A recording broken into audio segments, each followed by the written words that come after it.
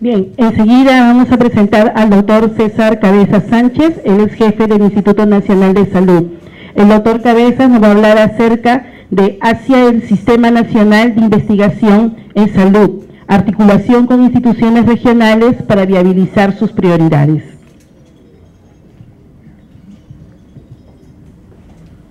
Buenos días. En primer lugar, agradecer la presencia de todos y, cada uno de ustedes. Este, es muy placentero ver a tantos amigos de las diferentes regiones y universidades.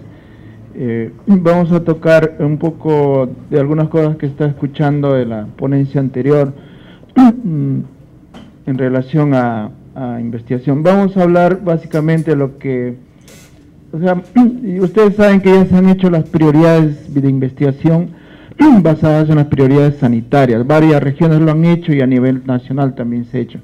Sin embargo, eso no es algo que esté escrito en piedra, ¿no? Eso es flexible, puede ser y debiera ser más dinámico y irse actualizando, porque como vamos a ver, uh, siempre hay cosas nuevas que aparecen. Entonces hay que considerar de que hay tendencias mundiales de las cuales no nos podemos escapar. La globalización es un problema, la migración intensa. Eh, hemos tenido pacientes de malaria del África, en Lima, por ejemplo, que estaban yendo eh, en, zonas mineras de África, que se venían a Lima y había casos en Lima. Esos podrían estar en una zona donde hay vector. Entonces, el problema es crítico en realidad con la intensa migración que hay a nivel interno y a nivel mundial. El calentamiento global es un hecho que todos lamentamos y lo conocemos y las reformas que están dando en los diferentes niveles, ¿no? La descentralización es algo irreversible que está en curso, el aseguramiento universal, fortalecimiento primer nivel de atención, el presupuesto por resultados, que probablemente varios de ustedes lo conocen, cuál es el pro y contra de esto, ¿no? Eh, y la formación de grupos en los países, ¿no? Como la Comunidad Económica Europea, las crisis que están habiendo, UNASUR como una propuesta de integración suramericana, etcétera, ¿no? Este es el calentamiento global, eh, la evidencia, este es Pastoruri, como verán esta foto tiene mucho tiempo porque el que está acá soy yo. y mira, era Pastoruri, ya vayan ustedes a Pastoruri y solo le van a mostrar la foto porque ya no hay nieve, ¿no? Entonces hay algunos, eh, incluso científicos dicen que eso del calentamiento global es un cuento que lo están haciendo los eh, los partidarios de los verdes, pero eso no es así, eso es una realidad, ¿no? Sino cada vez que ustedes se duchan se dan cuenta que el agua cada vez es menor. Y eh, esta diversidad que tenemos de zonas de vida, ¿no? De 108 en el mundo, 84 están en el Perú. Eh, somos un, varias naciones, en realidad, grupos étnicos diversos, y son consideraciones que debemos considerar cuando hablamos de salud. Eh, y cómo es que vivimos, o de los incas hemos aprendido el alguien causa, y ¿no? El, el, vivir en armonía con la naturaleza y entre humanos, y eso lo hemos perdido. Entonces nosotros debemos ver la salud no solamente como salud, sino como el buen vivir. Pero para buen vivir necesitamos una buena salud. Entonces, esto por ejemplo es un meandro muy hermoso y esta es la realidad actual. Estos son los lavaderos de oro de Madre de Dios. Miren todas las consecuencias. ¿Qué está trayendo esto? Que todo, este, acá hay, hay, dengue, hay VIH, hay drogadicción. Y todavía hay un concepto que eh, yo tengo el cédigo de la medicina tropical, le entré a esta especialidad, eh, eh, pero ese es un concepto de siglos atrás, ¿no? De la medicina tropical, que era como una enfermedades raras que le daban a los colonizadores, por lo tanto los países colonizadores eh, preparaban médicos para tratar a esas enfermedades exóticas, incluso en Francia se llamaban enfermedades exóticas, en otro lado, en, Inglaterra, en Bélgica le llamaron tropical disease, enfermedades tropicales, pero era para tratar a los colonizadores, pero no para solucionar el problema de los colonizados, ¿no? Y esos conceptos nosotros lo hemos copiado. Entonces hay institutos de medicina tropical en Londres, en Liverpool, en, Amberes, en Lima. Entonces, ¿cuál es el sentido, no? Entonces ahora es discutir si es medicina tropical o medicina en el trópico. Entonces, eh, por ejemplo, acá, eh, este tema, ¿qué está trayendo? Enfermedades transmitidas por vectores, eh, intoxicación por mercurio y con otros metales pesados, prostitución, drogadicción, corrupción, o sea, se da de todo, no solo se dan las enfermedades transmisibles, ¿no? Por eso que el concepto de medicina tropical debiera cambiar a medicina en el trópico, ¿no? Y miren las consecuencias que esto no era lo que está ocurriendo hoy día ahí en el Napo, ¿no? Y es un problema. Ahora, ¿qué vamos a hacer frente a esta agresión, por ejemplo, ¿no? todos estos son los proyectos mineros que tenemos que causa de conflicto social permanente y la principal actividad que está coadyuvando al crecimiento económico es la minería, ¿no? Entonces debiéramos prestarle atención pues al problema de la contaminación eh, por la minería, ¿no? Y el otro tema de la seguridad alimentaria y los medicamentos. Y estamos en este camino, ¿no? Sobre todo quienes pasamos muchas horas en la computadora, ¿no? Entonces como que hay una tendencia de que las enfermedades no transmisibles cada vez están siendo ah, mayores y eh, sin embargo otro tema que ya nos hemos acostumbrado a la violencia, ¿no? Todos los días hay muertos por accidente de tránsito o porque este, el sicariato, ¿no? Y ese es un problema. Entonces no todos son enfermedades transmisibles ni todo es este, la obesidad, ¿no? Este problema es grave. Entonces hablamos de las determinantes de la salud que pueden ser conductuales, ambientales, sociales, y biológicas. Entonces, cuando hacemos investigación deberíamos abarcar de manera integral. Entonces, las enfermedades transmisibles siguen siendo un problema, ¿no? de la cual no nos hemos librado por las condiciones ecológicas que tiene nuestro país. En realidad es un problema que lo vamos a seguir teniendo. Y eh, esto aunado a las determinantes. Por ejemplo, en Lima no llueve, ¿no? Pero hemos tenido una epidemia de dengue hace poco en Lima Sur. Entonces, si no llueve, ¿por qué es que hay dengue, ¿no? porque siempre uno está asociando el mosquito a zonas tropicales donde llueve. En Lima no llueve, pero ¿cuál es el problema? Que la gente no tiene agua. Entonces, si no hay agua, acumulan agua, entonces es el criadero para el mosquito. Entonces Lima es la única ciudad del mundo donde no llueve y hay dengue. En todas las demás partes del mundo donde hay dengue son zonas que llueven. Entonces uno se pone, es razonable donde llueve, pero acá entonces, como ustedes ven, ese problema no solamente es de salud, ¿no? es un problema que tiene que ver con la migración, esto es lo determinantes. ¿no? Y otro problema que hemos visto hace poco en Juanjuy, en, en San Martín, de repente el doctor Yagui les ha mencionado, una epidemia de leptospirosis. Y es la primera vez que se ve que, eh, o sea, el gobierno regional contrató una empresa para que mejores supuestamente el agua y el desagüe. Entonces lo primero que hicieron es romper lo que había y hubo un cruce del desagüe con el agua. Entonces la gente estuvo este, tomando prácticamente heces a través del agua. Entonces ha habido leptospirosis eh, por vía oral, la vía de transmisión, que no está tan descrita. ¿no? Se suponía que podía haber por acá, sí se ha mostrado que hay leptospirosis por vía oral, porque hay tanta la cantidad de la carga bacteriana que ha habido casos de leptospirosis por la transmisión oral, ¿no? Entonces eso este, tiene que ver salud, ¿no? Ahí tiene que el municipio, el gobierno regional, es un problema ¿no? que tiene que ver con otros sectores, ¿no? Y que si nosotros nos, nos circunscribimos a salud solamente, claro, es lo que podemos hacer, eh, sin embargo debemos considerar lo otro. Entonces así podemos poner muchos ejemplos de esto. Este es otro ejemplo, ¿no? Que hace meses, antes de que hubiera peste en la libertad, este, se decía hay peste bubónica, pero como era gente del campo, migrantes, nadie le da bola. Pero cuando se murió un estudiante con peste neumónica en Trujillo, recién dijo, hoy hay peste en Trujillo, ¿no?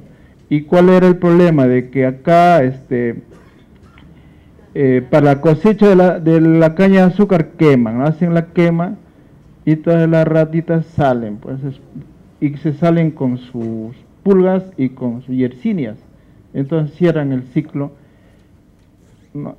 Eh, y a veces la, eh, esto, por ejemplo, es un criadero perfecto de Aedes aegypti. Esta foto ya tiene varios años que se encontró en Iquitos. Esto está en la municipalidad de Mainas. Se supone que las autoridades debieran este, también velar por el problema, pero esto este, eran cilindros con brea donde estos eran criaderos perfectos, ¿no? Una vez fuimos para buscar mosquitos para hacer pruebas de susceptibilidad y estaban criando mosquitos con dificultades en el laboratorio, pero cuando fuimos acá no necesitábamos criar, ya estaban criaditos, gorditos, solo para cosecharlos, ¿no? Esto es importante hablar de, así como se habla de medicina basada en evidencias, la salud pública en evidencias, ¿no? el desarrollo e implementación de políticas, programas o intervenciones con alta probabilidad de ser exitosas y costo efectivas, ya que nacen de resultados de estudios científicos de alta calidad. O sea, debemos tender a eso, ¿no?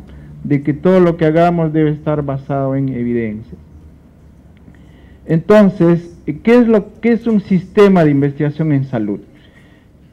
Es el conjunto de personas, instituciones y actividades cuyo propósito primario en relación con la investigación es la de generar conocimiento de alta calidad que puede ser usado para promover, restaurar o mantener el estado de salud.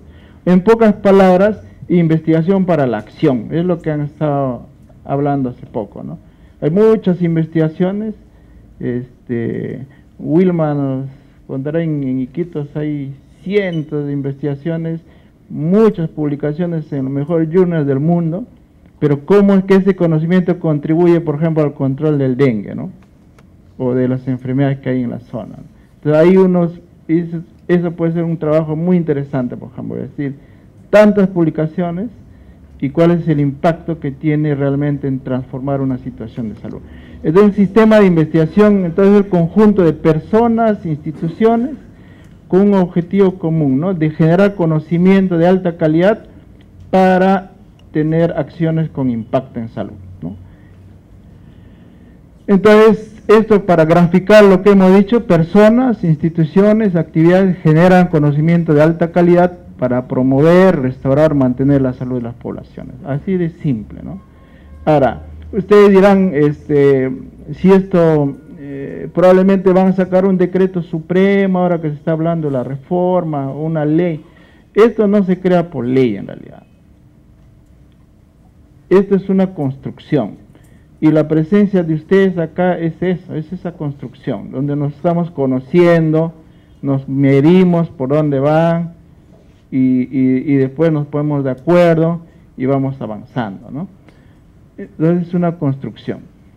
Entonces, ¿para qué es este sistema de investigación? Es para que el conocimiento avance y para la utilización de este conocimiento que mejore la salud y contribuya a la equidad.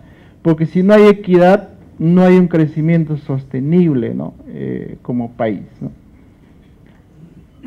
Y esta, este sistema de investigación tiene básicamente cuatro funciones. Uno es la de gobernanza o rectoría, lo que también he estado hablando hace poco financiamiento, si no hay plata, todo es floro, como dicen los chicos, hay protocolos bonitos, ideas interesantes, no hay plata, ¿no? O habiendo plata no se puede gastar. Entonces financiamiento no solo es tener la plata, sino cómo gastarlo, ¿no? La creación y sostenibilidad de recursos, más que recursos en cuando hablamos de humanos son capacidades humanas, ¿no? ¿Cuál es la materia gris que tenemos para hacer investigación a nivel nacional? Lo otro es la producción y utilización de este conocimiento que se genera. entonces acá un poco como se cierra el círculo, ¿no? De que debemos saber hacia dónde vamos y por qué vamos a ese sitio, cómo lo financiamos, qué recursos tenemos, recursos humanos, recursos eh, de infraestructura, equipamiento. Por ejemplo, eh, el año pasado nos sobraba un dinero, como siempre, al final del año, dice, hay que comprar, eh, entonces alguien dijo, compramos un microscopio electrónico, ya costaba medio millón.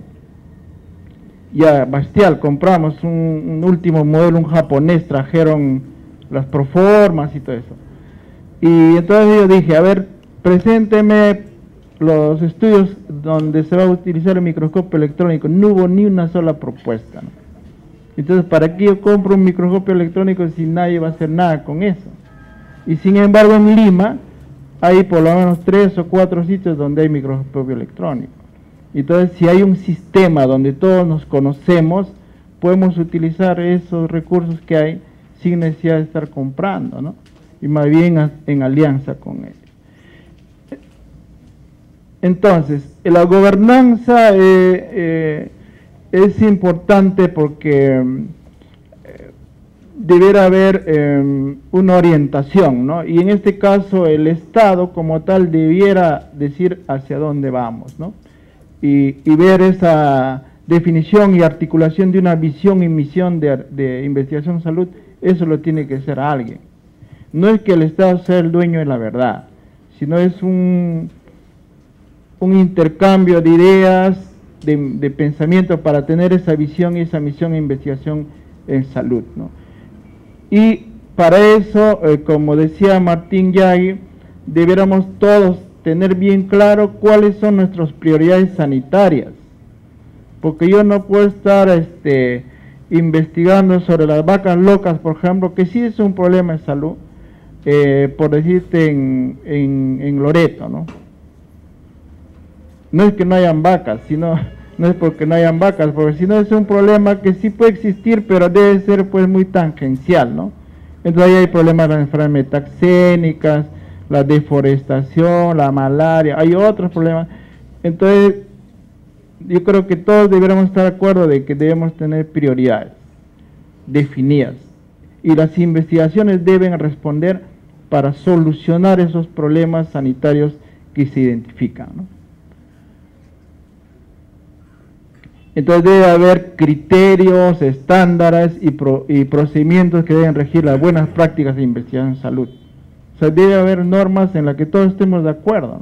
Por ejemplo, se decía, este, si yo quiero hacer un estudio sobre resistencia a drogas antimaláricas y me pongo a hacer mi protocolo, consigo la plata y me voy a Iquitos y lo empiezo a hacer.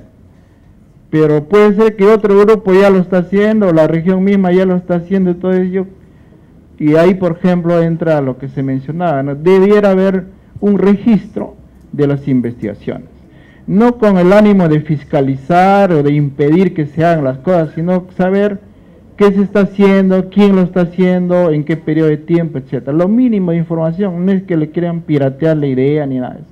El temor de muchos de repente es ese, ¿no? Pero es simplemente un registro. Si en ensayos clínicos, que al final, eh, además de tener un propósito de de dar un conocimiento nuevo tiene fines comerciales, ¿no? porque los laboratorios invierten porque van a ganar después, ese es un conocimiento muy valioso que ellos lo atesoran y no lo pueden compartir. Si ellos, a pesar de esas condicionantes, permiten que esto esté en un registro, las investigaciones operacionales o las investigaciones observacionales, ¿por qué no pueden estar en un registro? Donde aparezca el nombre de la investigación, los investigadores, o por lo menos el objetivo de la investigación, eh, los nombres de los investigadores y en qué periodo y dónde se está haciendo. O sea, es lo mínimo, ¿no? Entonces, es importante que hayan criterios, estándares de procedimientos, protocolos estandarizados, eh, un marco regulatorio, obviamente en, investigación en, en, ensayos clínicos está bien definido, y como hemos dicho acá, el otro tema es la acreditación y certificación de comités de ética que ampliamente ustedes lo están viendo. Todas las cosas como instituto lo estamos haciendo como rectoría.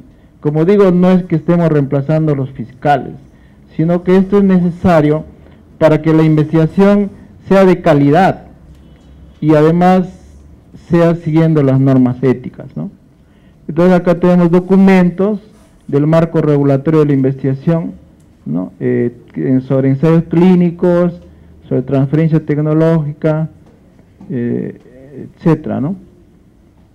Entonces, esto ha sido todo un proceso que empezó con, una consulta regional, una reunión de expertos, luego un foro nacional. Acá tenemos una foto de esos eventos y terminó en prioridades de investigación. Pero como digo, estas prioridades no están escritas en piedra. Pienso que por lo menos cada tres años debieran renovarse. Por ejemplo, siendo autocríticos en, esta, en este proceso que fue muy intenso, muy participativo, hay dos eh, vacíos. Uno de ellos es salud ambiental y el otro es salud ocupacional. ¿Quién de nosotros, en su sano juicio, puede decir que eso no es prioridad? No, necesitamos, a cualquier transeúnte podemos preguntar y va a decir que sí. Y entonces nosotros, con mayor razón que trabajamos en salud, vamos a ¿quién no puede decir que la violencia es una prioridad? Salud, este, salud ocupacional y salud ambiental, que no figuran en estas prioridades. Entonces son temas que tienen que agregarse, ¿no? Y como digo, es una cuestión dinámica. Ha habido prioridades regionales, no voy a entrar en el detalle, ustedes lo saben mejor que yo. Y luego se hizo una agenda, porque las prioridades son muy genéricas. Por ejemplo, intervenciones en enfermedades transmisibles, es una prioridad genérica. Necesita una agenda donde están prácticamente los problemas mejor definidos y que ya pueden ser susceptibles de protocolizarlos y eh, desarrollar la investigación. ¿no? Solo para poner unos ejemplos de que en el 98, 2000, una prioridad que se definió era el, eh, en caso de malaria el contar con pruebas rápidas que se hicieron, se determinó la, la eficacia de medicamentos antimaláricos eh, en, en, Loreto y en la costa norte, y esto era una decisión del Ministerio de Salud porque los médicos de Loreto decían que la droga que usaban, en este caso la cloroquina, ya no respondía al en el caso de la malaria por falcíparo. Entonces se tomó la decisión de hacer estudios para ver cuáles eran las alternativas terapéuticas, ¿no? Y se mostró pues que efectivamente había resistencia y se buscó las alternativas terapéuticas. Estas investigaciones fueron publicadas y entonces estos, hallazgos que eran un poco aislados, a través de esos estudios estandarizados, se mostró que sí efectivamente había resistencia, se definieron nuevos esquemas y se establece una, ah, vigilancia y políticas de drogas antimaláricas. ¿no? ¿Cómo que la investigación se traduce en normas y en políticas? Y esto ha trascendido la frontera de Perú y ha permitido contribuir hacer lo mismo en Ecuador, en Bolivia. Eso es para ver cómo es que la necesidad de un rol rector, ¿no? que alguien, eh, en este caso el Estado lo hace, pero como digo, esto es una construcción de todos en la que nos ponemos de acuerdo. El financiamiento, el aseguramiento de asignación de fondos, entonces acá los fondos básicamente tienen eh, del tesoro público o pueden ser de los grants, ¿no? Eh, acá hay este, la necesidad de que debiéramos establecer convenios o asociaciones eh, para el financiamiento de proyectos estratégicos de investigación, concertación con organismos de ciencia y tecnología. Por ejemplo, el CONCITEC ahora ha lanzado un concurso ¿no? para investigación y ha definido sus prioridades, qué cosas va a financiar, qué cosas no. Son hasta 350 mil, creo, por proyecto, ¿no? como máximo. Entonces, si ustedes ven ahí, nosotros cuando tuvimos una reunión con ellos, por ejemplo, le propusimos que debiera investigarse sobre eh, pruebas rápidas para enfermedades transmisibles, ¿no? Porque eso es una necesidad, ¿no? Eh, prácticamente en todo, ¿quién no quisiera tener en el campo una prueba, una tira reactiva que en 10, 15 minutos te dé un resultado? Esa es una necesidad. No es fácil llegar a eso, ¿no? Porque hay mucha tecnología que usar para llegar a eso pero es una necesidad. Entonces se propuso, felizmente eso aparece, por ejemplo, en, la, en, lo que Conciteca ha planteado. Y lo otro es el marco regulatorio para asignación y utilización del financiamiento público. ¿no? Este, por ejemplo, en estos, en hospitales en Lima, tenían un fondo que por el desarrollo de ensayos clínicos tenían un fondo que se llamaba fondo intangible y como su nombre decía intangible, nadie lo tocaba. Y entonces no lo gastaban, por lo tanto no se hacía ninguna investigación. Es intangible, pues. Y los administrativos decían, eso es intangible, ni lo toques. Y entonces tenían medio millón, otros tenían un millón, otros diferentes montos y nada le gustaba. Y entonces una reunión que hicimos casi dos años, surgió el problema, ¿no? Y entonces, ¿qué dijimos? Tiene que haber una norma para que los administrativos tengan confianza y digan, ah, no, la norma tal dice que se puede gastar. ¿Y de qué forma? Y entonces se sacó una directiva, ¿no? Entonces, decían, ah, pero si el instituto saca una directiva, el administrativo está encerrado, ya eso será para el instituto, pero nosotros nada tenemos que ver con el instituto, nosotros somos hospital. Pueden tener razón. Entonces, ¿qué hicimos? Lo publicamos en el peruano. Y como salió en el peruano, ahora todos le hacen caso. ¿no? Pero es el mismo documento, solo que está publicado en el peruano. Pero ya se está usando, por ejemplo, ese fondo. ¿no? Entonces es importante que haya marco regulatorio. Y eso resulta de reuniones de este tipo donde identificamos problemas, que puede ser un problema que pareciera intrascendente como este,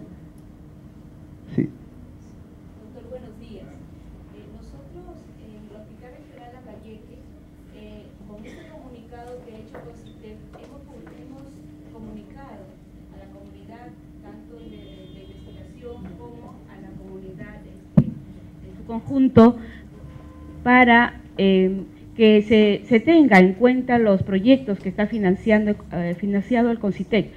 Pero resulta que cuando nosotros hablamos con la parte administrativa, ahí hay un cuello de botella porque todos los fondos que reciba Ministerio de Salud van al MEF.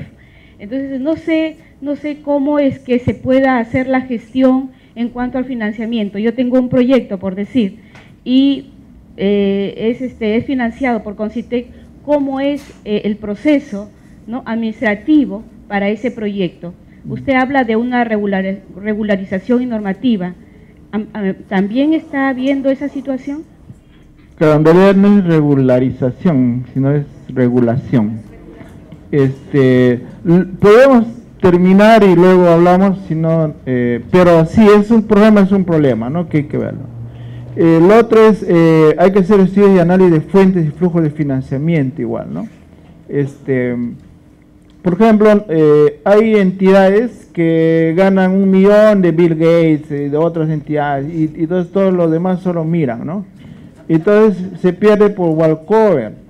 No es porque no hayan capacidades para hacer. Entonces lo que necesitamos, por ejemplo, como Estado, la mayoría de casos son Estados, incluso muchas universidades, debería haber grupos especializados en escribir grants, que sepan, porque hay una cierta especialización para eso, no basta el conocimiento técnico del tema, sino tiene que haber gente que domine el inglés, domine los esquemas que utilizan o, o requieren estas entidades financieras, entonces se puede postular con propiedad, ¿no? Entonces nadie se atreve hay una o dos universidades en el Perú que sí saben hacer y son las únicas que tienen el beneficio. Y está bien, porque han sabido eh, lograr ese acercamiento. Es, ese, por ejemplo, es un problema, ¿no? Que dejamos pasar, por ejemplo, ayer tuvimos una reunión con un grupo de, de Alemania que han venido en la Comunidad Económica Europea. Yo no sé cómo es que a pesar de la crisis ellos tienen plata destinada para apoyar proyectos de investigación en, en Sudamérica, y, pero no postulan. Por ejemplo, tenían 10 proyectos, solo hay uno que han postulado. Y tú yo le digo, debe estar en alemán. No, no está en alemán, está en inglés, pero en inglés, ¿no? Entonces, eh, hay un tema, por ejemplo, que debiéramos ver. El otro tema es la creación y sostenibilidad de recursos. ¿no? Hay que crear políticas de incentivo para estimular la inversión público-privada en investigación y formación de recursos humanos. Entonces acá es el tema del canon, por ejemplo, ¿no? Coordinar con instancias competentes las políticas de formulación y desarrollo de recursos humanos. Este es otro tema, ¿no? Importante, la formación de recursos humanos en investigación.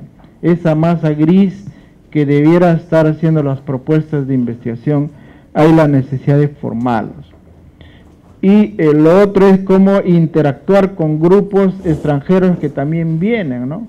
O sea, nosotros tampoco debiéramos ser autárquicos y decir nosotros hacemos solo porque todo es nuestro. Entonces yo lo que les quiero decir a, a estas alturas es de que Si nosotros tenemos bien identificadas nuestras prioridades sanitarias, nuestras prioridades de investigación y las necesidades de resolver esos problemas, que venga cualquiera a ayudarnos, con plata, sin plata, con conocimiento, no, no interesa, lo cosa es que si yo estoy seguro de lo que quiero, me puedo aliar con cualquier investigador del mundo que quiera trabajar en lo que yo quiera. ¿no? Yo creo que ese es un principio básico que debiéramos tener. Lo otro es eh, facilitar la creación y desarrollo de redes entre centros, ¿no? es igual. O sea, en las regiones hay universidades, como las DIRESA, las DISAS se asocian con las universidades, o como las universidades entre ellas también se asocian. Entonces es importante, como ustedes ven, la columna vertebral de todo esto son las prioridades. Si están bien definidas y hay una agenda, entonces ahí se van alineando las instituciones públicas, privadas, académicas, no académicas, eh, para desarrollar esas investigaciones y el resultado al final va a ser que se va a contribuir a la solución de los problemas. ¿no? Entonces hay capacidades que crear, como decía, eh, deberíamos tener un mapa de todas las capacidades en recursos de laboratorio, por ejemplo, ¿no? ¿Qué capacidades tenemos como país? ¿Y qué cosas podemos eh, intercambiar con las otras instituciones, ¿no?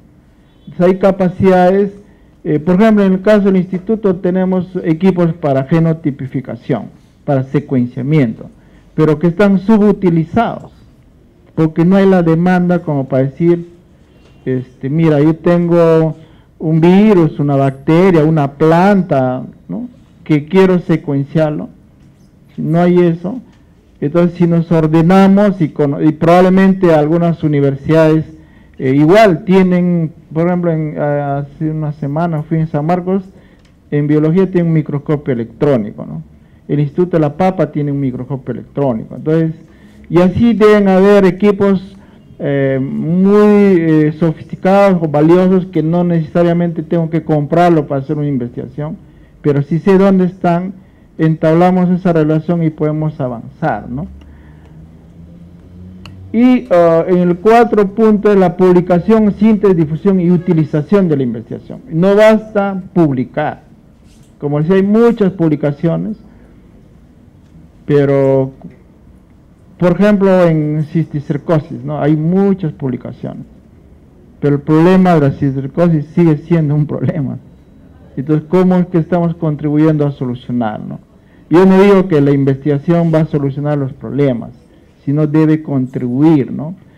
Entonces, la publicación es considerada el principal producto del proceso de investigación, pero esto debe terminar en, en su difusión y en la utilización de la investigación debiéramos tener más revistas, ¿no? Acá, claro, yo como instituto diré, yo estoy orgulloso de que tenemos una revista indexada. Al contrario, no estamos tan orgullosos porque tenemos una sola revista de salud indexada en Medline. Hace poco la revista de biología de San Marcos se indexaba ICI. Entonces ya un poco uno se siente más contento porque hay más instituciones que se están indexando. Entonces el gol sería, por ejemplo, de que hayan más revistas indexadas y eso va a permitir que haya más publicaciones y más interés de los investigadores, entonces se va generando también todo un proceso, ¿no? Entonces es un tema que tenemos que trabajar también. Ahora, no solamente uno puede publicar pues en revistas eh, peruanas, sino también en el exterior, obviamente. Y la mayoría de las publicaciones en realidad están hechas en, inglés, en, en revistas extranjeras, pero hechas por extranjeros muy poco por peruanos, ¿no? Entonces, eh, el otro tema que quería tocar es que la investigación en salud tiene diferentes niveles, ¿no? A nivel subindividual, la investigación biomédica, que de repente hacemos mucho de esto, la, a nivel individual, la investigación clínica y el comportamiento y las conductas de las personas, ¿no? La otra, la investigación poblacional, que es de, en salud eh, de la población y los determinantes, investigación en política de salud, y esto es lo que menos hacemos, ¿no? investigación en sistemas de salud. Por ejemplo, ahora que se va a hacer una reforma del sistema sanitario, eh, ¿qué investigaciones tenemos sobre por qué funciona o no funciona nuestro sistema sanitario? esto de los postas, centros de salud, hospitales, se han cambiado por nombres que ni nosotros mismos nos, entendemos, ¿no? Entonces, este, eh, no tenemos estudios, por ejemplo, que hayan hecho una evaluación. Y ayer, por ejemplo, hablábamos con el director o, el, presidente del CISOL, el doctor Ugarte, y, todo eso, por ejemplo, es un conocimiento, este, eh, para nadie es un secreto que estos sistemas de hospitales eh, están teniendo éxito, ¿no? Pero ¿por qué? Su éxito está en que lo que es atención primaria lo han convertido en una atención primaria, pero con servicios especializados. Aquí no le va a gustar que vas por un dolor de estómago, tienes 50 años y te dicen, pucha, ¿cuánto tiempo estás con tu dolor? Y estoy un mes. Ah, eso puede ser una neoplasia. Te hago una endoscopía que te vea al costar el gastroenterólogo. ¿Quién no va a querer eso? No? Lo que, y eso tenemos que pensar que el concepto de atención primaria no es que es una cosa simple y que lo puede ver pues el primer nivel que puede ser un técnico sanitario o un médico general. Entonces yo creo que el éxito de CISOL, por ejemplo, va por ahí, ¿no? De que te atiende oportunamente, te ve el especialista y te soluciona, o por lo menos te da la idea de que te está solucionando el problema, ¿no? Y eso es lo que le gusta a la gente, y la gente paga, ¿no? Entonces, este, porque, eh, por ejemplo, eso yo le decía al doctor, ¿no? Eso debiera estar publicado, sistematizado, y aprendemos todos de eso, ¿no? Cómo es que eso funciona y por qué la gente se comporta así. Entonces, si eso es lo que quiere la gente y funciona y le soluciona problemas, entonces, ¿por qué no lo hacemos de manera sistemática, ¿no? O como una política de Estado. Entonces, este tema es el que menos investigamos, por ejemplo, ¿no? Y también necesitamos desarrollar tecnologías para solucionar problemas. En este caso, también esto es una golondrina no hace el verano. Este, este ya como dos años se, elaboró un kit de diagnóstico para dengue que este, está siendo ya compartido con otros países del grupo andino. ¿no? Y esto es un Madi en Perú, porque su nombre es Tariki, ¿no? no es japonés, es quechua, ¿no? Significa, porque en Ecuador me dijeron, ese producto japonés debe ser bueno, no es, japonés. Tariki significa te encontré, o te pesqué, una cosa así, ¿no? O te pillé. Igual, entonces están saliendo nueva tecnología, como eso por ejemplo, en caso de tuberculosis, que esperamos un mes, mes y medio, dos semanas para un resultado, ahora eso lo puedes tener en tiempo corto, 48 horas, ¿no? Y saber la, si es MDR o XDR. Pero eso, desde yo en Lima tengo un laboratorio bien bacán y, este, y qué pasa con la gente de las regiones, ¿no? Entonces, por ejemplo, en caso de Madre de Dios, Ucayali, eh, se ha descentralizado, entre comillas, ellos nos mandan la muestra y acá se hace el genotype y por el NetLab se le da el resultado. Lo que antes se demoraba, o sea, la prueba per se, por ejemplo, el MODS o el GRIES, dos, tres semanas, un mes, la prueba sola, más que llega al director de ahí a la otra oficina y llega al médico, mes, dos meses, ¿no? Con todas las consecuencias que significa.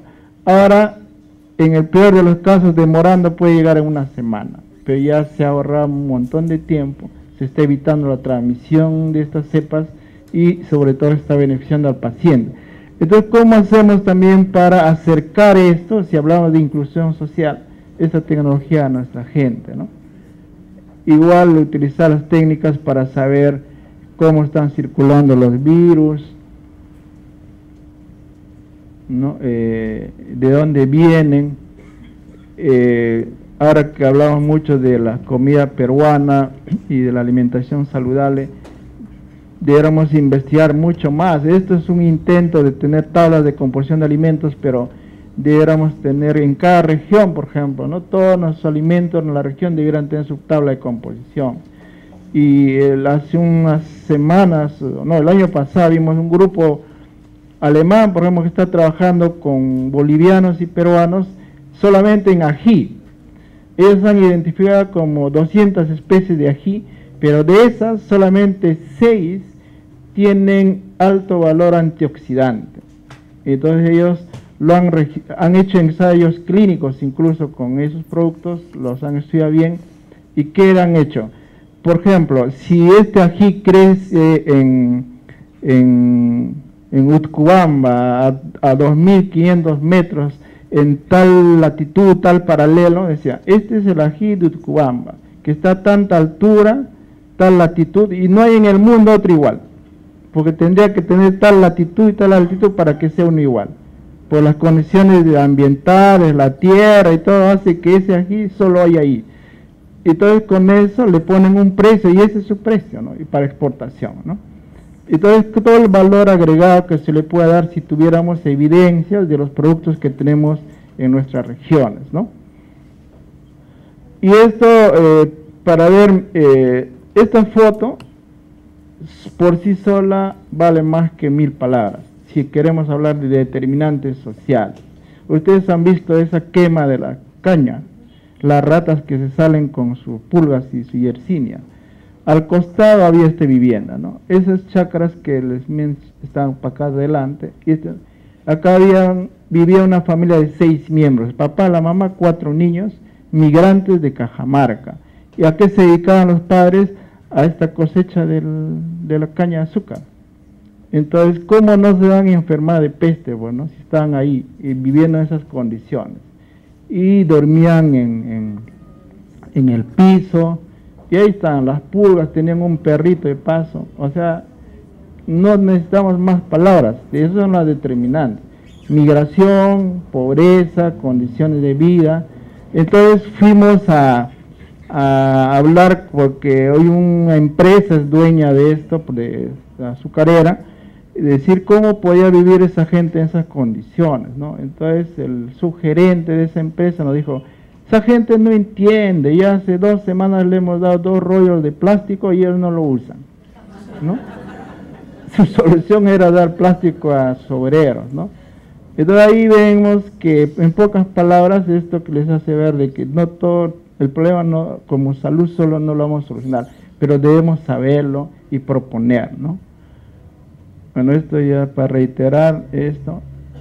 Entonces, para finalizar, les quiero mencionar que que para contribuir de manera efectiva a enfrentar los problemas sanitarios debemos organizarlo. Ya sabemos el qué al tener las prioridades, las agendas. Ahora, ¿cómo lo hacemos? Es una forma, es a través de los programas de investigación, ¿no? Que eh, para ganar tiempo, entonces eh, entendemos esto como la definición e implementación de lineamientos estratégicos que orientan los esfuerzos de investigación en diferentes áreas, para cumplir estas, estas prioridades. Entonces, acá estos programas de investigación representan el punto de encuentro entre los intereses provenientes del ámbito institucional y el ámbito del conocimiento científico y tecnológico. Acá debiera decir en realidad las entidades que toman decisiones. Entonces, en pocas palabras, un programa de investigación es un sistema que integra procesos de análisis y generación de evidencias para la toma de decisiones sobre problemas de salud prioritarios. Eso es lo que entendemos como un programa. Entonces tenemos prioridades sanitarias, las prioridades de investigación basadas en esto, programas y definición de investigación específica. Entonces, ¿qué estrategias usamos? formulamos las propuestas, validamos y priorizamos las propuestas, planificamos las investigaciones, incluyendo acá el financiamiento y luego ejecutamos esas investigaciones. Si queremos tomar como ejemplo eh, la historia natural de la enfermedad, podemos eh, ver acá, ¿no? De que debe haber investigaciones en esta etapa ah, como prevención primaria, prevención secundaria, prevención terciaria, eso solo es un ejemplo. Y acá lo que hemos dicho es que pueden haber investigaciones biomédicas, clínicas, epidemiológicas, sistema de salud, donde participan los recursos humanos altamente calificados, integrantes de este sistema de salud, donde están las universidades, los centros de investigación, públicos, privados, nacionales, extranjeros, y un aspecto que no debiéramos olvidar es financiamiento, ¿no? con tesoro público, que puede ser ordinario, recursos ordinarios, recursos directamente recaudados, proyectos de inversión pública, recursos externos nacionales como el canon y los internacionales que son los grandes. Y esto para ligar todo este tipo de investigaciones, para generar las evidencias que contribuyan a la solución de problemas sanitarios. Entonces una cosa que se ha venido haciendo es, ya basada en las prioridades, determinar la agenda, eh, identificar ya estos problemas, hacer estos programas eh, con las regiones, ¿no? para el acceso al financiamiento y luego el desarrollo de la investigación, la publicación y difusión y la aplicación de este conocimiento y luego la evaluación de todo este proceso. ¿no? Entonces, el año pasado, el anteaño se ha visitado varias regiones con este propósito. Y lo que queremos es seguir este proceso, digamos, de, de la consolidación, digamos, de este sistema nacional de investigación con esos cuatro componentes, pero como decía, eso no lo podemos hacer con un decreto supremo ni con una ley. Hay que construir y una vez que nuestra organización esté funcionando y tenga ya algunos resultados, es decir, ahora necesitamos pues la, partida de nacimiento, ¿no? que puede ser una ley, un decreto supremo, sobre todo esto para garantizar el financiamiento, porque si a los políticos nosotros le mostramos que estamos teniendo resultados con lo poco que nos dan, entonces si tenemos resultados podemos plantear que ese sistema debe tener un financiamiento, ¿no? Y que el CONCITEC, por ejemplo, financia, pero no solo es salud, financia a todos los sectores. Y lo que da es insuficiente para todas las necesidades de investigación que hay. Entonces es un tema que la única forma de conseguir financiamiento adicional para investigación es a través de un decreto legislativo, ¿no? porque es un tesoro público. Entonces, si tenemos un sistema que está funcionando, hay las evidencias de que está funcionando, la posibilidad de tener eso es mayor. Aparte, obviamente, los esfuerzos que cada institución eh, nuestra haga para conseguir más financiamiento. Por ejemplo, para este presupuesto multianual que en los para los próximos tres años, nosotros hemos pedido un presupuesto adicional de investigación para ah, empezar a hacer que esto que no quede en floro, que sea una realidad, de que priorizando las, eh, investigaciones, eh, por ejemplo, se lanza un programa de investigación en, enfermedades metaxénicas, donde dengue, malaria o chagas sean las prioridades, por ejemplo, y dentro de esas también hay que ver cuáles son. Entonces hay un fondo y, y más que concursar, diría, se oferta eso para que los que conocen el tema puedan desarrollar la investigación. ¿No? Porque a veces se hace concursos y la gente por el billete, que hay gente también que es experta en conseguir fondos, ¿no? Entonces se organizan, pero no tienen experticia en el tema y van a cumplir a medias lo que dice la propuesta, pero no va a servir realmente para el propósito. Y eso, por experiencia les digo, que hace unos años se hizo un concurso para accidentes de tránsito, ¿ya? Eh, un millón y medio y, un grupo, y, pero quienes eh, se organizaron un epidemiólogo, dos epidemiólogos, creo, no quiero decir nombres, pero eh, entonces, pero ninguno tenía expertise en accidentes de tránsito, ninguno. Pero como tampoco hay expertos en general, ganaron el concurso. Y se le tuvo que dar la plata y se gastó la plata. ¿Y cuál es el impacto de eso? Nada. Nada tuvimos que al final este, exigirles, mira, tienen, por lo menos publiquen, pues no, no, nosotros en el contrato no decía publicación, contrato sin informe, y ahí están nuestros tres informes. O sea, desde el punto de vista legal tenían razón. ¿no? Entonces hay cosas que son eh, legales pero ilógicas y hay cosas que son lógicas pero ilegales. ¿no? En este caso era legal pero ilógico. Pues, Si el objetivo era generar un conocimiento, para difundir, para producir un cambio, dice, no, está ahí el informe y ese es tu problema si lo publicas, ¿no? Entonces, eso para terminar eh, de que este el Sistema Nacional de Investigación y los programas de investigación una construcción que queremos compartirla con ustedes y seguir avanzando. Yo creo que esta reunión para nosotros es muy significativa y el solo la presencia de ustedes y el interés que tienen en esto es parte de este propósito que tenemos como, como Estado. Muchas gracias. Bueno, agradecemos al doctor César Cabeza Sánchez, jefe institucional del INS, por su brillante exposición. No sé, un rol de preguntas. Doctor César, eh, eh, todos sabemos que la investigación efectivamente es un proceso que está en, marcha y todo ese proceso ustedes se lo están fortaleciendo, preparando más y capacitando más a las personas que desean hacer investigación. Eh, se habla también de financiamiento y, yo diría que ahora estamos pasando por diferentes escenarios, como los que ha mostrado usted, de bastante pobreza, pero también de abundancia, diríamos nosotros.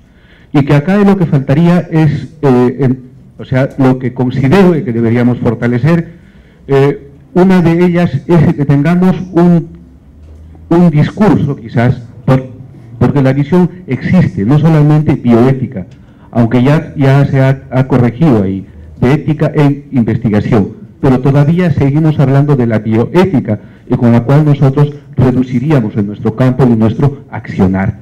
Eh, financiamiento. Efectivamente, que todo esto es un proceso y lo que hay que hacer son alianzas estratégicas. Ya hay una efervescencia, diríamos, en lo que es la investigación y va a venir mucho dinero y muchos capitales como los hay.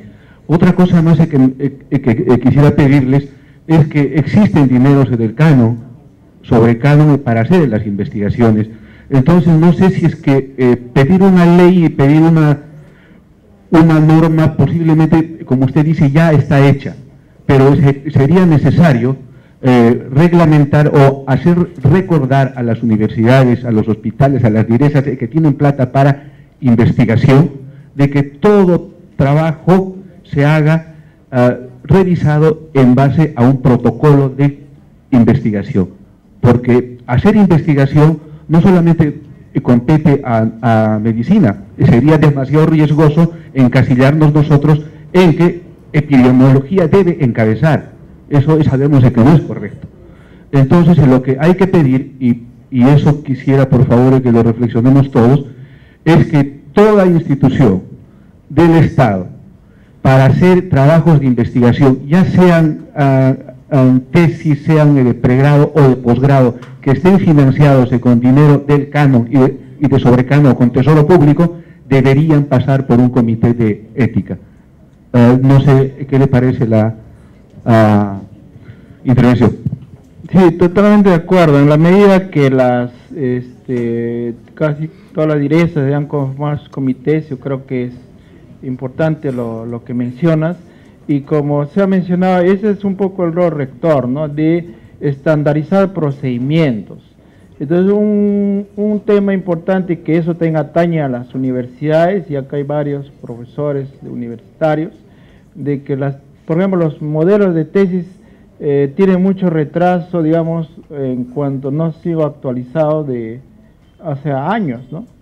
Entonces, hemos estado visitando algunas universidades y hemos encontrado eso. Incluso hay un documento que lo vamos a compartir si nos dan su correo, eh, se hizo una investigación de todas las variedades de esquemas de tesis que había en las universidades. Y nos hemos encontrado con cosas bien diversas, ¿no? Entonces, ¿cuál es nuestro...?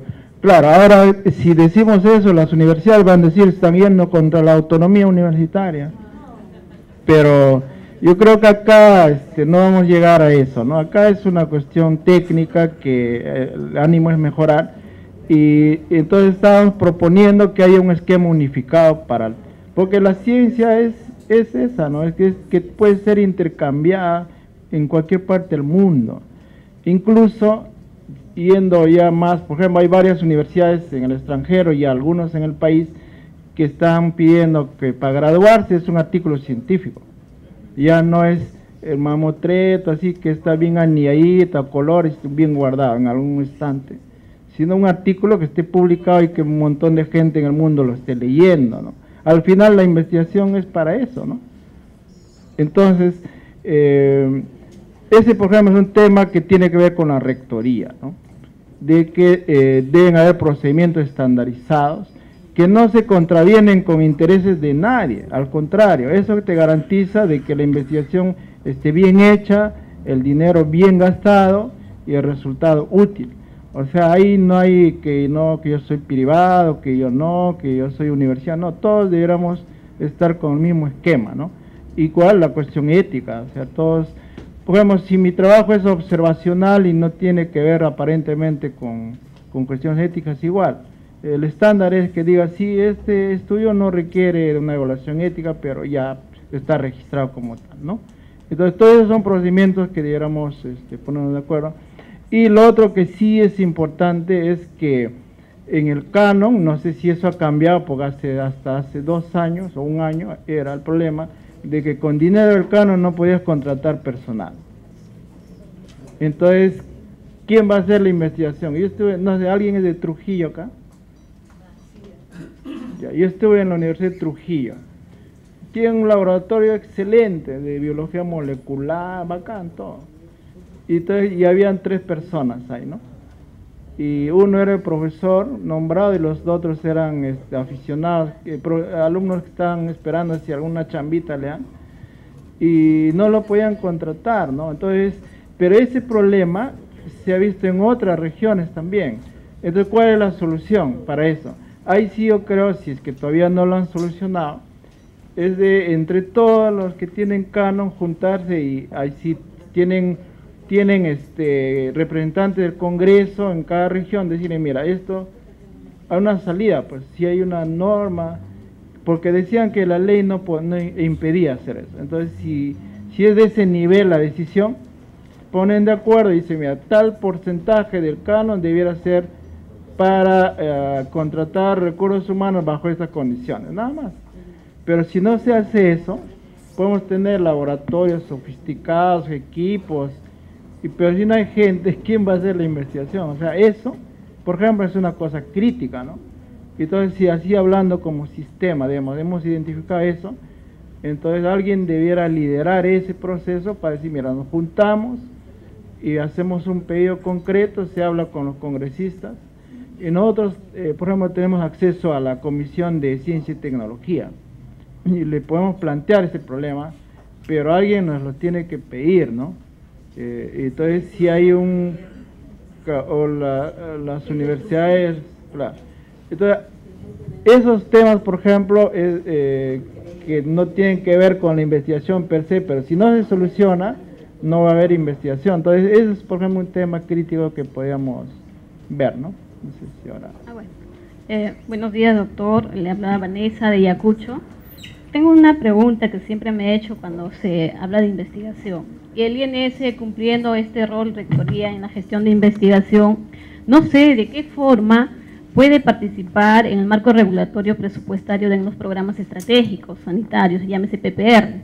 Esto le comento porque cuando se quiere hacer investigaciones o hay voluntad de hacer investigaciones, hay necesidad, se han establecido prioridades de investigación en nuestras regiones, tenemos un eslabón, un par, un stock ahí que nos digan no hay presupuesto para investigación, pero en las definiciones operacionales del PPR no está incorporado para hacer investigación, salvo a lo que yo he revisado todo, me he dado esa, eh, de hacer la lectura todo, he encontrado en el programa articulado nutricional ahí hace investigaciones, pero también que dice, solamente debe programar el SENAN. Y no sé hasta dónde es cierto, porque los coordinadores de las estrategias dicen, no, esto lo puede hacer eh, pero ustedes no.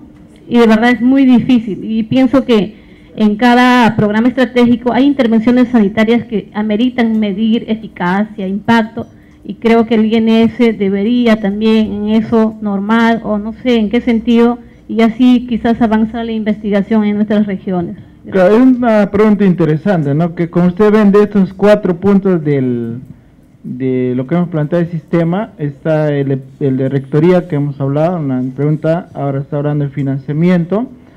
Este, sí es cierto eso, ¿no? De que nosotros hemos tratado de que aparezca con el término de investigación en el PPR, en las otras programas presupuestales, pero que no se ha puesto.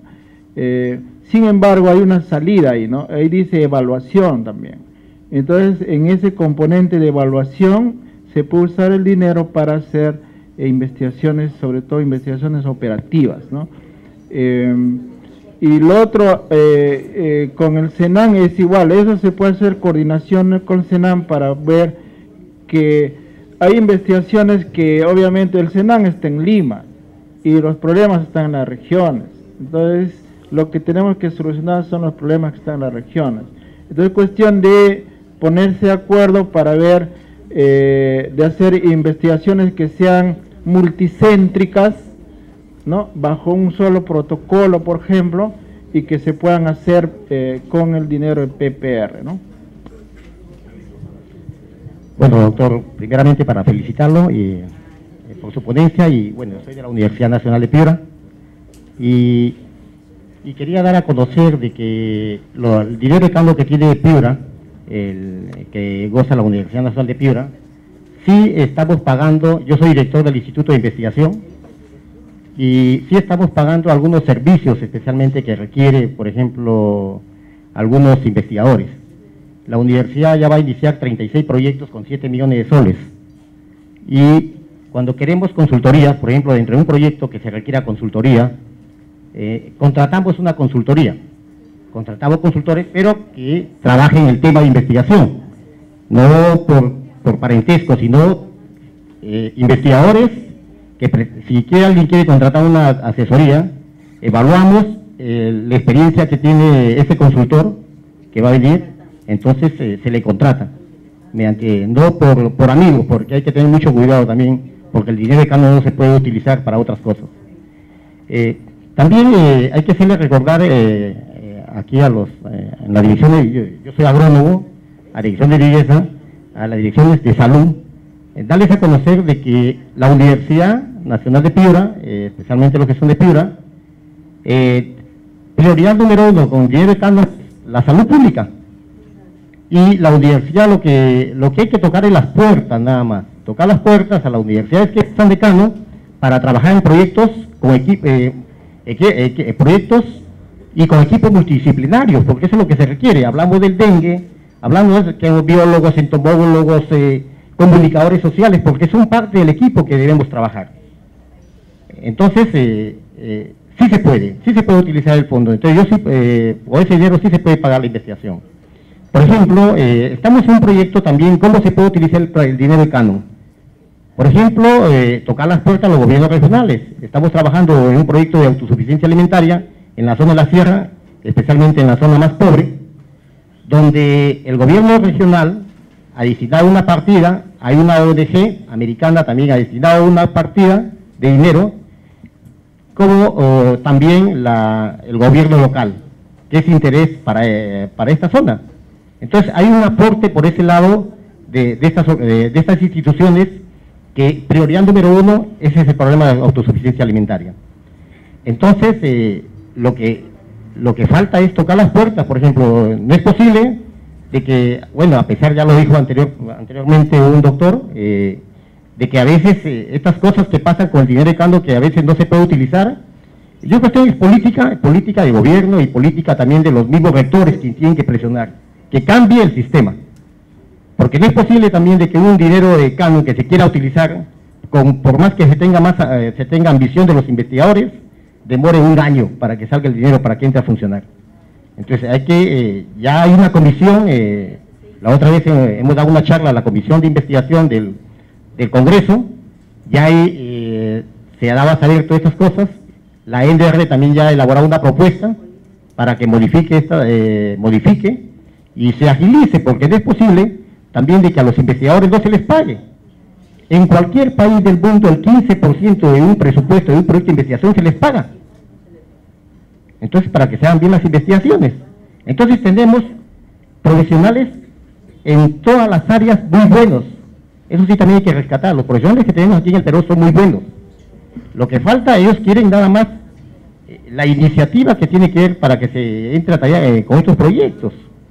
Y también es una vergüenza también de decirte que hay universidades que gozan de cano, gozan de cano que tienen hasta 300 millones, 500 millones de soles de dinero de cano para investigación y no se está utilizando.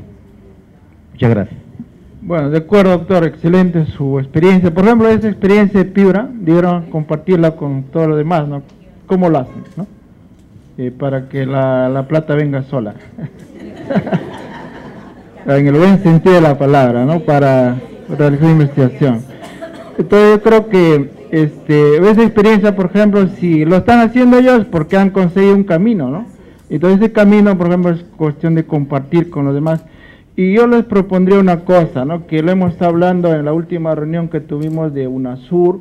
Nosotros, este, em, el Instituto Nacional de Salud de Perú es el coordinador de la red de institutos nacionales de UNASUR, o por lo menos era hasta hace dos meses. Y eh, nosotros propusimos eh, que en la página, a través de la página web, se vea esta cuestión de lo que es la gestión del conocimiento, lo que es una forma eh, para que uno se actualice, ¿qué hace? O va a conferencias que son periódicas o lee revistas últimas que salen, ¿no? Pero para que se publique un artículo, ustedes saben, puede pasar un año, dos años o meses, y ese conocimiento podría ser muy necesario antes, ¿no? Entonces, eh, ¿qué estrategia se usa? Y eso ha surgido de, de, los, de los empresarios, ¿no? Que ellos quieren, porque cuando hablan de las bolsas, que cae o sube, ese dato lo tienen que tener así. Entonces acá, aplicando eso a salud, eh, eh, también se puede usar ese, eh, esa estrategia de gestión del conocimiento, donde si hay un listado de expertos en determinados temas, uno tiene su correo electrónico y hay la aceptación de, de ese investigador de contestar o pertenecer a esa red. Entonces yo tengo un problema concreto este, yo le hago una pregunta y ese experto, eh, además de estar actualizado porque va a las conferencias, lee los últimos papers, tiene la experiencia y elabora todo ese conocimiento y te la da justo lo que tú quieres, ¿no? Y ese es otro tema que a través de ese sistema se puede hacer eh, a través de la página web, ¿no? Generar un directorio de investigadores expertos en los temas pero que tengan esa voluntad de participar eh, eh, y eh, se puede hacer esas consultas entre los investigadores. ¿no? Es un tema que el instituto lo puede propiciar, podemos en curso, eso hemos hablado con los otros institutos de Sudamérica, Osvaldo Cruz, Argentina, varios están de acuerdo. Entonces son, eso, esa red puede irse ampliando ya a otros que estén fuera de UNASUR, ¿no? Pero eso es algo que también este, podríamos hacer. Y en ese sentido, por ejemplo, lo que dice el colega de Pibra, ese conocimiento que tiene de cómo están haciendo es algo que puede compartir con, con los demás que tienen Cano. ¿no? La última pregunta, doctor. Eh, quisiera pedir eh, alguna especie de ayuda o asesoría al Instituto Nacional de Salud en un tema que es eh, muy importante para las regiones fundamentalmente y también para el país en torno a lo que es los accidentes de tránsito. El Estado peruano ha implementado una serie de leyes ya, por ejemplo, ver el control del vehículo, la capacitación, que duerma sus horas adecuadas, alternancia de choferes, la capacidad de las carreteras, señalización, etcétera, pero no ha considerado un tema que a mi criterio es importante. Hice mi carrera de médico en la ciudad de Lima mientras trabajaba como transportista de productos mobiliarios. Entonces ahí he podido ver algunas discusiones que como era estudiante de medicina eran justo del tema. Entonces uno de los, de los puntos es, lo que yo voy a proponer en mi región es, es lo siguiente, que se capacite al elemento principal que es el recurso humano. Un ejemplo, en física mecánica básica, ¿qué es cantidad de movimiento? dos vehículos a 40 kilómetros por hora chocan y yo vengo a 40 y discuten. Yo he visto cuántas veces esto y no saben que en la física cuando es el, choque frontal se multiplica la masa por la velocidad. En conclusión, si los dos vendrían a 40, la, sumatoria del efecto es de 80 kilómetros por hora. ¿Qué es inercia de reposo y de movimiento? ¿Ququé es vector resultante? Eh, coeficiente a sentido sencillo. Un chofer experto viene manejando en la zona de Ayacucho en la altura cuando ha caído hielo y no sabe qué es coeficiente de rozamiento y cree que con su maniobra izquierda-derecha iba a resultar. En fisiología no saben qué es concepto de eh, el ciclo circadiano, porque las muertes, los partos y algunos fenómenos de enfermedades crónicas son a cierta hora. No sabe qué es la respuesta del reflejo, el automatismo, pero tiene que ver eso con otras condiciones. Por ejemplo, interesa saber qué es el sistema microsomal, hepático, es decir, eh, llegan a un lugar determinado, hacen su almuerzo y consumen un par de cervezas, ya te vas, dos más, dos más, y él toma, está de lo más lúcido. Pero el fenómeno de absorción se da y miren dónde suceden los accidentes, miren la hora. Y no solo eso, es cuestión social. Cuando yo discuto con los transportes todas las veces, nunca he recibido el apoyo de un conductor, de un compañero de viaje. Todos me dicen, compra tu carro, pues vete en lo propio. O decir, por llegar media hora, una hora más, antes, prefieren arriesgarse a todo. Entonces yo les digo, pero mire el techo de vida, yo estoy yendo a un curso, me interesa la vida, trabajo en un hospital, soy patólogo, ¿cuántas necropsias vemos por la estupidez de un conductor? Entonces, miren, miren, parezco vendedor ambulante, todos se ríen de un tema en el que es muerte. ¿Cuántas veces muerte se ve a tal, a tal extremo grado que hasta chiste queda del patólogo? Se accidenta una persona y la mujer viene llorando, mi esposo le ha, se ha accidentado Ah, señora, le dice el patólogo acá, el informe damos por partes, del ombligo para arriba y del ombligo para abajo. Ay, la mujer dice, ¿cómo está el ombligo para abajo? Normal, enterito. Y del ombligo para arriba, esa parte todavía no lo trae, está en el accidente. Entonces, esa es la visión del peruano. ¿Cómo modificar solo viendo a la máquina, a la experticia física del conductor y no a lo que tiene acá? ¿Cuántas veces para salir de una reunión se para en, un pie y, se siente bien y está en esa fase, pero sigue ingiriendo y lo lleva como un almacén que se va absorbiendo? Ciclo circadiano es importante. Nada de esto se, se toma en conocimiento. Entonces, en el Perú, la educación y la salud son la estructura del desarrollo de los pueblos, pero ¿quién va a querer invertir pues en estos tipos de estudios? Entonces, creo que lo haré pues eh, de una, u otra forma. Pero cuando vemos la cantidad de cadáveres, cuando abarrota nuestro hospital, eh, un solo accidente cerca de Ayacucho, colapsa nuestro hospital regional. Eso es real. ¿Cuántas veces en cinco años que estoy en Ayacucho? Pero estos temas, ¿a quién le interesa? Entonces, al escuchar la exposición tan amplia de la investigación que el doctor nos ha presentado, entonces sí, encuentro una fortaleza grande en docencia universitaria, soy también alumno de posgrado, este tema de interés, actualizado con la información, lo voy a llevar y espero que también el Instituto Nacional vea si es factible, esto sería un estudio multicéntrico por regiones, etcétera. De acuerdo, creo ha tocado un tema muy álgido y este, en realidad nosotros estamos considerando este, tres prioridades que no están en las que se habían previamente acordado, ¿no? Eh, medio ambiente, salud ocupacional y, violencia y accidente de tránsito. ¿no? Esos son tres temas que tienen que entrar y obviamente tienen que entrar con un presupuesto. No será mucho, pero hay que empezar, ¿no? Y es cierto, yo la otra vez viajé a, de Arequipa a Espinar, pero la noche anterior a mi viaje había escuchado una charla sobre esto del circo circadiano y que los choferes, eh, por ejemplo, los que van a Huancayo, van y regresan y no duermen. ¿Y qué, cuál es el concepto del chofer de que ah, del descanso? ¿no? Mientras maneja, él está trabajando.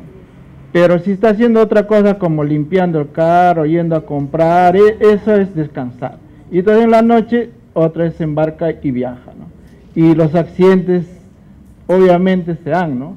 Y yo después de haber escuchado eso cuando viajé de Arequipa a Espinar, yo casi muero en el camino porque el chofer iba a una velocidad tal y no había forma de, pararlo, ¿no? Entonces, eh, ese es un tema importantísimo que está considerado y esperamos eh, igual el uso de motos lineales en toda la región, el motocar, hay varios temas.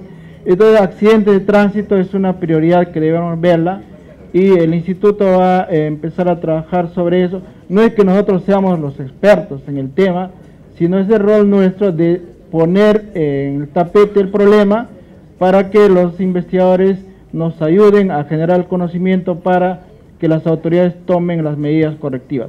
Muchas gracias. Gracias, doctor.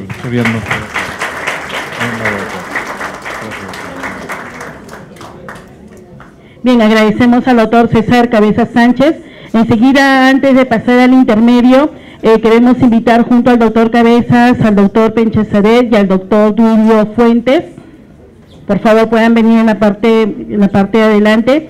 Tenemos un encargo para ello, vamos a invitar a la doctora Rosaluz Benítez de la Dirección Regional de Salud de, de Piura. Compañeros, eh, el rector de la Universidad Nacional de Piura, doctor José Raúl Rodríguez Lichtenher, nos encarga agradecer en nombre de todos los participantes al equipo que ha hecho posible eh, que estemos aquí y que formemos una red de colaboración y que trabajemos en aras de nuestras regiones.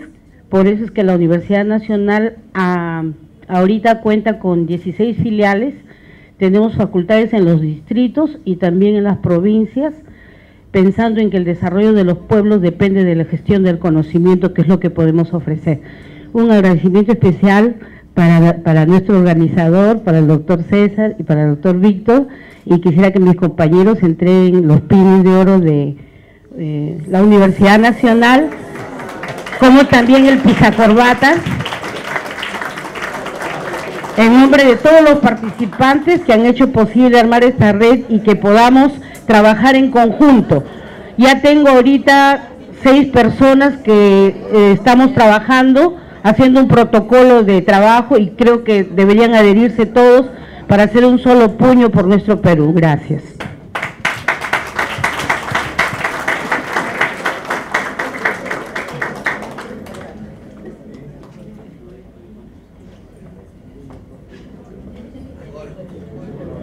Bueno, seguidamente pasaremos al break. Queremos comunicar eh, a aquellos compañeros que han tenido dificultades en entrar a la página para el curso. Eh, la secretaria está tomando sus nombres para ver la manera de coordinar con los, con los tutores. ¿sí? En este momento lo pueden hacer.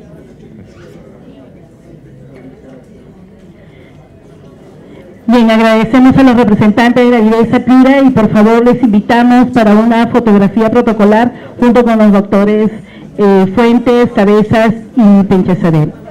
Por favor, para la foto protocolar.